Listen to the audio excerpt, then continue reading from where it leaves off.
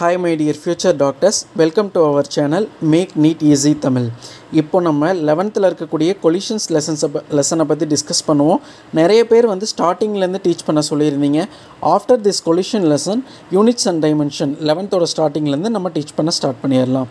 நான் ஃபஸ்ட்டு பார்த்தீங்கன்னா definition of collision கொலிஷன்னா என்ன அப்படின்னு பார்த்தீங்கன்னா the strong physical interaction among the bodies involves exchange of their momentum in short interval of time அப்படின்னா என்னன்னு பார்த்தீங்கன்னா ரெண்டு பார்ட்டிக்கல் அதாவது ரெண்டு பாலாக இருக்கலாம் இல்லை ரெண்டு ஸ்டூடெண்ட்ஸாக இருக்கலாம் ஒருத்தரோட ஒருத்தர் மோதுறப்ப மோதிட்டு அவங்களோட மொமெண்டம் வந்துட்டு இன்ச்ச இன்டர்சேஞ்ச் ஆகும். அதாவது இப்போ நம்ம ரெண்டு ஸ்டெம்பர் பாலை மோத விடுறோம் தூக்கி போட்டு அப்படின்னா ஆஃப்டர் கொலிஷன் ரெண்டும் மோதினதுக்கு அப்புறம் ஃபஸ்ட்டு பார்ட்டிக்கு ஃபஸ்ட்டு பாலோட மொமெண்டமும் செகண்ட் பாலோட மொமெண்டமும் இன்டர்சேஞ்ச் ஆகிருக்கும் அந்த ஃபிசிக்கல் கான்டாக்ட் வந்துட்டு இம்பார்ட்டன்ட் கிடையாது ஃபார் கொலிஷன் அதாவது என்ன அப்படின்னு பார்த்தீங்கன்னா ரெண்டு பார்ட்டிக்கிள் மோதினா தான் கொலிஷன் ஏற்படுமா அப்படின்னா அப்படி கிடையாது. ரெண்டு பார்ட்டிக்கிள் மோதாமலும் கொலிஷன் ஏற்படும். First basic definition strong physical interaction between two bodies and exchange their momentum இதுதான். ஃபார் எக்ஸாம்பிள் பார்த்தீங்கன்னா collision of alpha particle with nucleus இது என்ன அப்படின்னு பார்த்தீங்கன்னா ஒரு நியூக்ளியஸ் இருக்குது அதாவது தமிழ் மீடியம் ஸ்டூடெண்ட்ஸ்க்கு அணுன்னு சொல்லுவீங்க சொல்கிறீங்கள கெமிஸ்ட்ரியில் அந்த அணு இருக்குது அதில் வந்து ஒரு ஆல்ஃபா பார்ட்டிக்கிள் வந்து கொலைட் ஆகுது அப்படிங்கிறதுக்கு இது ரெண்டும் வந்து டச் ஆகணுங்கிற ஒரு நீட் கிடையவே கிடையாது.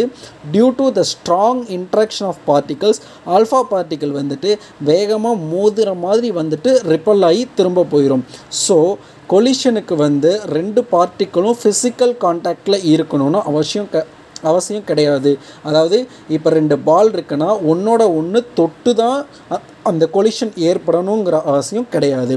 அண்ட் தென் நெக்ஸ்ட்டு பார்த்தீங்கன்னா டைப்ஸ் ஆஃப் கொலிஷன் என்னென்ன கொலிஷன் இருக்குது அப்படின்னு பார்த்தீங்கன்னா ஒன் டி எலாஸ்டிக் கொலிஷன் அதாவது head on collision semi elastic collision inelastic collision as well as oblique collision first நம்ம ஒன் டி எலாஸ்டிக் கொலிஷன் பற்றி பார்ப்போம்.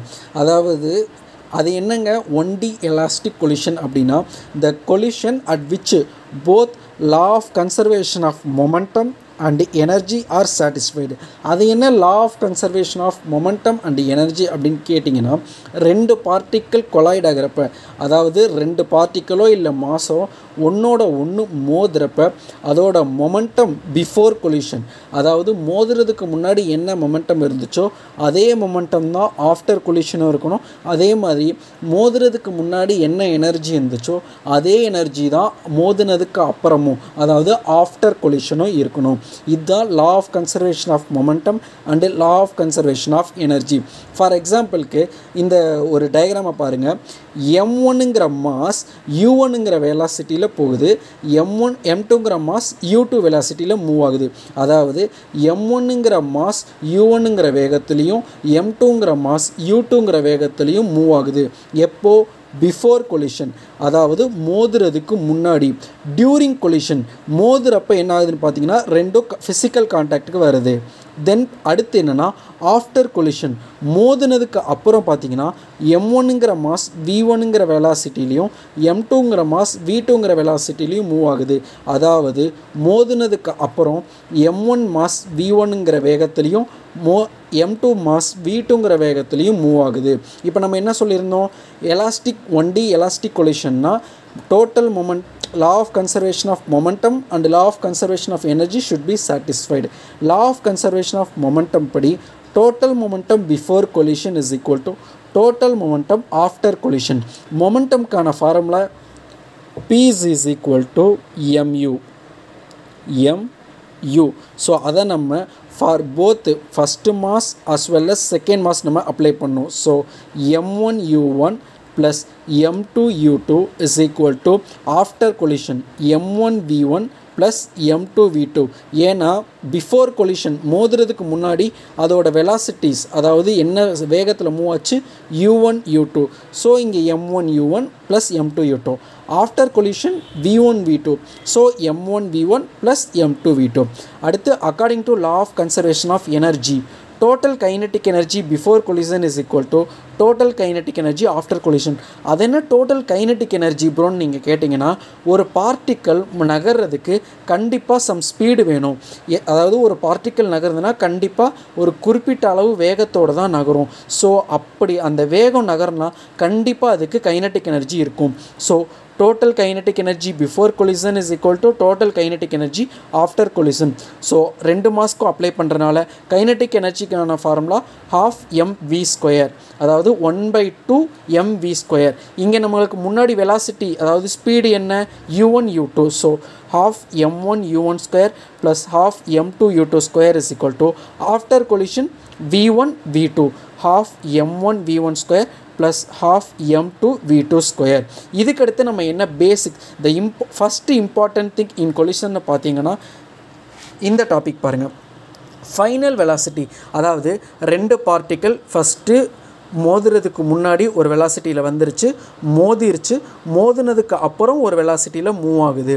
அப்படின்னா அந் என்னென்ன வெலாசிட்டியில் பார்ட்டிக்கல் ஒன் அதாவது மாஸ் ஒன்னோட வெலாசிட்டி என்ன மாஸ் டூவோட வெலாசிட்டி என்ன ஆஃப்டர் கொலிஷன் மோதினதுக்கப்புறம் இது ரெண்டும் ஒரு important need question ஃபார்முலாங்க so V one is equal to M one minus M two divided by M one plus M two into U one M ஒன்னுங்கிறது முதல் பாடியோட மாஸ் எம் டூங்கிறது ரெண்டாவது பாடியோட mass into U one plus two M two divided by M one plus M two into u two இது final velocity of mass one அதாவது first பாடியோட final velocity after collision then second பாடிக்கு two m one divided by m one plus m two into u one plus m two minus m one divided by m one plus m two into u two இப்போ என்ன? If second body is in opposite direction அதாவது first வந்து for எக்ஸாம்பிளுக்கு நான் detail explain பண்ணுறேன் பாருங்கள் first வந்துட்டு இது ஒரு மாஸ் இது ஒரு mass m one m two u one u two after மோதினதுக்கப்புறம் இது இந்த டைரக்ஷன்லேயும் செகண்ட் பார்ட்டிக்கல் இந்த டைரக்ஷன்லேயும் மூவ் ஆனா. அதாவது டைரக்ஷன் சேஞ்ச் ஆனா. இந்த மாதிரி டைரக்ஷன் சேஞ்ச் ஆனால் we have to take u two as minus அது என்ன யூ டூனா செகண்ட் பாடியோட வெலாசிட்டி அதாவது செகண்ட் பாடியோட ஸ்பீட் பிஃபோர் கொலிஷன் மோதுறதுக்கு முன்னாடி செகண்ட் பார்ட்டிக்கலோட வெலாசிட்டியை நம்ம நெகட்டிவில் எடுக்கணும். ஏன்னா ரெண்டும் opposite direction so if second body moves in opposite direction after collision then then take u two as negative இந்த யூ டூ இருக்குது பார்த்தீங்களா அந்த எல்லா இடத்துலையும் மைனஸை நம்ம சப்ஸ்டியூட் பண்ணிடணும் அதுக்கடுத்து என்ன பார்த்தீங்கன்னா இதோட அப்ளிகேஷன் என்னென்ன? ஃபார் ஈக்குவல் மாசஸ் அது என்ன ஈக்குவல் மாசஸ்னால் ரெண்டு மாஸ் நம்ம மோதுதுன்னு சொன்னாலுங்களா அந்த ரெண்டு மாஸுமே சேம் ஃபஸ்ட்டு பா மாஸ் வந்துட்டு ஒரு இப்போ ஃபஸ்ட்டு பாடி வந்து ஒரு அஞ்சு கிலோனா செகண்ட் பாடியும் அஞ்சு கிலோ. அப்படி இருந்தால் என்னென்னா v one is equal to u two v two is equal to u one அதனா இந்த v one is is equal to only u two இது எப்படி வருதுன்னா டேரெக்டாக நீங்கள் சப்ஸ்டியூட் பண்ணலாம். இந்த எம் ஒன் எம் டூ இருக்கிற எல்லா இடத்துலையும் வெறும் எம் ஏன்னா மாஸ் சேம்னா ஒரே மாஸ் தானே. எம் எம்மை சப்ஸ்டியூட் பண்ணிங்கன்னா இந்த இந்த டேர்ம் கம்ப்ளீட்டாக ஜீரோ ஆயிரும். ஏன்னா எம் மைனஸ் எம் ஸோ இது கம்ப்ளீட்டாக ஜீரோ ஆயிரும். இதில் two m divided by m plus m so two m two m cancel m m cancel ஆகி வெறும் யூ டூ மட்டும் வரும் two two so v one is equal to u two v two is equal to u one இது எப்போ? Masses சேமாக இருந்தால் அதுக்கடுத்து when u two is equal to zero அது என்ன u two is equal to ஜீரோனா இந்த செகண்ட் பார்ட்டிக்கல் இருக்குது பார்த்தீங்களா அது வந்து எப் மூவே ஆகலை. அதாவது ஒரு பாலை நம்ம ஒரு பாலை ஒரு ஸ்டெம்பர் பாலை அந்த சைடில் வந்து ஸ்டேஷனரியாக ஒரு இடத்துல மட்டும் வச்சுட்டு இந்த சைட்லேருந்து இன்னொரு பாலை தூக்கி போடுறோம். ஒரு பாலை அப்படியே வச்சுட்டு இன்னொரு பாலை தூக்கி போடுறோம். அந்த கேஸில் என்ன ஆகும்னா எம் டூக்கு மட்டும் அதாவது இந்த எம் டூ இருக்குது பார்த்தீங்களா இந்த இடத்துல ஜீரோ சப்ஸ்டியூட் பண்ணால் ஏன்னா அந்த மாஸ் மூவ் ஆகலை. So sorry u two u two இந்த மாஸ் மூவ் ஆகாதனால இந்த யூ டூங்கிறது ஜீரோனால so v one is equal to m1 minus m2 divided by m1 plus m2 into u1 uh, same v2 is equal to 2m1 divided by m1 plus m2 into u1 and then third case என்னென்னு பார்த்தீங்கன்னா first mass வந்து ரொம்ப பெருசு second ரொம்ப சின்னது. அதாவது ஒரு பத்து கிலோ இரும்பு பால் எடுக்கிறீங்க அது எம் ஒன் மாஸ் அதோட மாஸ் எம் ஒன் இந்த சைடு ஒரு சின்ன ஸ்டெம்பர் பால் எடுக்கிறீங்க. இப்போ இந்த இரும்பு பால் வேகமாக போய் இந்த ஸ்டெம்பர் பாலம் மேலே மோதுது. அப்போ என்ன நடக்கும் அப்படின்னு பார்த்தீங்கன்னா இந்த எம் ஒன்று இருக்குது பார்த்தீங்களா அதாவது அந்த இரும்பு ball moves with velocity u one அதாவது சேம் அஸ் இதோட வெலாசிட்டி ஆஃப்டர் கொலிஷனும் சேம் யூ ஒன் அதாவது பிஃபோர் கொலிஷன் மோதுறதுக்கு முன்னாடி என்ன ஸ்பீடில் போச்சோ அதே அதே ஸ்பீடில் தான் ஆஃப்டர் கொலிஷனும் போகும். அதே நேரத்தில் வி டூ அதாவது அந்த சின்ன பாஸ் இருக்குது பார்த்தீங்களா அது வந்து twice the velocity v two is equal to two u one அதாவது இந்த பெரிய இரும்பு பால் போய் மோது ஒரு ஸ்பீடில் மோதிச்சு பார்த்தீங்களா அது மாதிரி ரெண்டு மடங்கு ஸ்பீடில் அந்த சின்ன பால் மூவ் ஆகும்.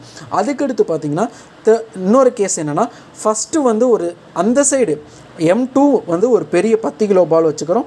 எம் ஒன் வந்து ஒரு ஸ்டெம்பர் பாலை தூக்கி எறிகிறோம்.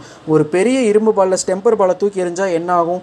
V one is equal to minus u one அதாவது அந்த ஸ்டெம்பர் பால் வந்துட்டு இப்போ நம்ம ஒரு இரும்பு பால் மேலே ஒரு பத்து கிலோ பால் மேலே ஸ்டெம்பர் பாலை இப்படி தூக்கி போடுறோம் அப்படின்னா போய் அடித்து திரும்ப வரும். ஸோ ஆப்போசிட் டைரக்ஷனில் வரனால v one is equal to minus u one v two is equal to zero v டூங்கிறது அந்த பத்து கிலோ. வெ வெறும் நம்ம ஒரு இரநூறு கிராம் பால் பத்து கிலோவில் அடித்தா அது நகருமா? கண்டிப்பாக நகராது. So v two is equal to zero v one is equal to minus u one same நம்ம என்ன ஸ்பீடில் போட்டோமோ அதே ஸ்பீடில் தான் திரும்ப வரப்போகுது. ஆனால் நெகட்டிவாக வரும். ஏன்னா ஆப்போசிட் டைரக்ஷனில் ஸோ அப் டு திஸ் நம்ம இப்போ கம்ப்ளீட் பண்ணுவோம். ரிமைனிங் கொலிஷன் நம்ம நெக்ஸ்ட் வீடியோவில் அப்லோட் பண்ணுறேன் தேங்க்யூ ஃபார் வாட்சிங் and keep going on thank you